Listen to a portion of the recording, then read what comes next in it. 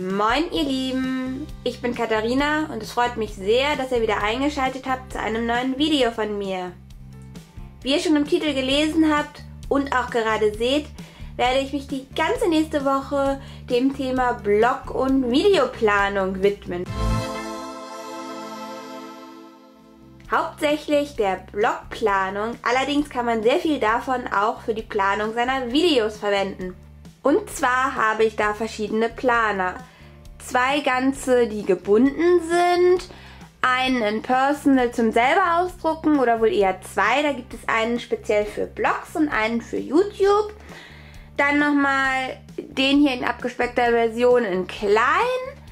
Einen zum Ausdrucken in A4 und einen einzelnen nochmal ebenfalls zum selber ausdrucken in A4. Dementsprechend wird sicherlich für jeden etwas dabei sein. Für die einen, die sich etwas für ihren Planer selber ausdrucken wollen. Für die anderen, die sich sagen, für mich ist ein gebundener Planer doch viel besser.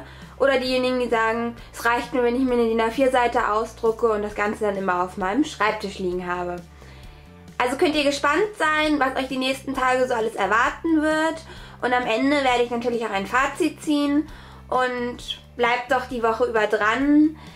Ihr könnt auch etwas gewinnen. Also ich dachte, so viele Blogplaner kann ich als einzelne Person gar nicht alleine benutzen und verwenden. Das ist einfach viel zu viel und dann mache ich lieber einem von euch eine Freude. Also seid gespannt und bleibt doch die Woche über dran. Habt ihr eine feste Planung für euren Blog oder für eure Videos? Würde mich sehr interessieren. Schreibt doch mal einen Kommentar. Also vielleicht habt ihr ja schon etwas gefunden oder ihr seid vielleicht noch auf der Suche nach etwas.